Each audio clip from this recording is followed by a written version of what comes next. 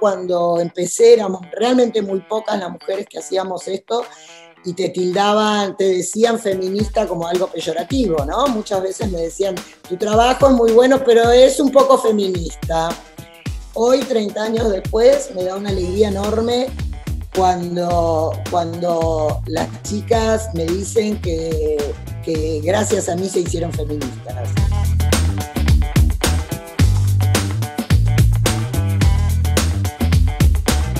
Recortaba sus tiras en la revista y las guardaba, o sea, tenía un archivador solo para ella. Maitena es una ilustradora argentina que hace más de tres décadas publicaba sus viñetas en periódicos de circulación nacional. Dejó de hacerlo porque dice se volvió más reflexiva. Yo eh, me retiré, yo hace muchos años ya que no hago historieta, pero una de las razones de, dejarla fue más que la repetición, eh, la idea de que con, los años el humorista se pone eh, más reflexivo y menos gracioso. Y a mí la viñeta me gusta que sea graciosa. Y la verdad que a mí como consumidora de humor, lo que me gusta es reírme. Por eso creo que el humor lo tienen que hacer los jóvenes. Por otro lado, Flavita Banana es una española que publica sus tiras en periódicos, pero también en Instagram.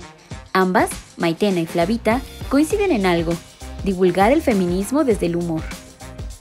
que hay, pues hay, muchos idiomas ¿no? que, que, son una, barrera ¿no? para poder entendernos, que los problemas tenemos los mismos y, y, el humor sería un idioma más, que aparte habla, puede hablarlo cualquier persona, lo sabe hablar cualquier persona pero tiene más o menos desarrollado, digamos. Entonces, eh, usando imágenes y humor, que son dos, dos lenguajes universales, eh, creo que sí, que es una forma de, entendernos, de encontrar un punto en común, de relajarnos, ¿no?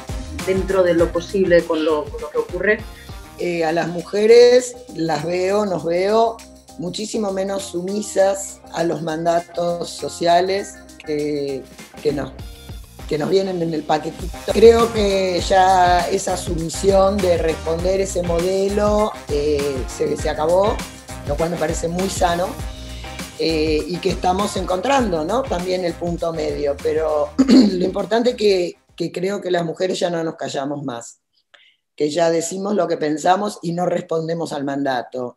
O sea, en feminismo no me voy a callar la boca en ningún nivel porque, eh, porque no porque basta, ¿no? Porque basta y porque no somos una minoría.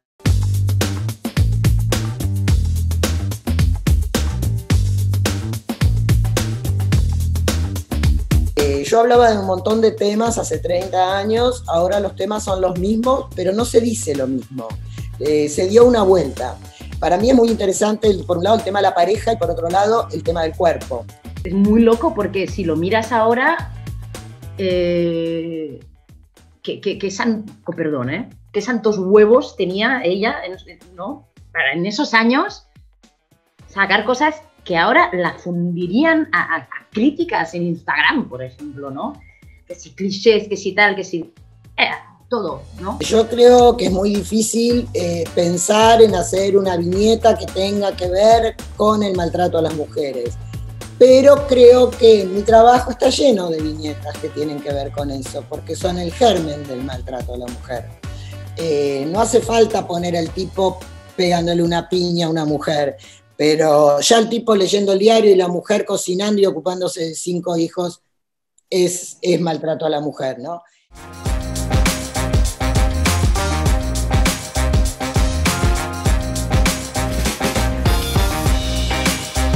el formato viñeta o, tira o, el formato humor gráfico, digamos, empezó a existir como, mm, como, como arma contra, eh, contra eh, los, ciertos movimientos, como crítica, como eh, digamos, cualquier panfleto. Mm, no sé, hay, periódicos viejos en casa de mi abuela, de, yo qué sé, de 1900 de su, madre y tal, siempre ha habido viñeta, siempre hay viñeta, y siempre en la viñeta se meten con alguien, ¿no? Es, yo creo que es la herencia del, del, bufón en, la corte real, ¿no? O sea, eh, tenía que haber alguien riéndose del poder y, sigue existiendo, ¿no? Y... Me parece genial porque además muchas viñetas mías dispararon reflexiones, dispararon temas, pero la manera de decirlo es desde el humor, no desde la reflexión. Entonces, creo que estamos ahí, en una etapa de, de grandes cambios para el humor gráfico.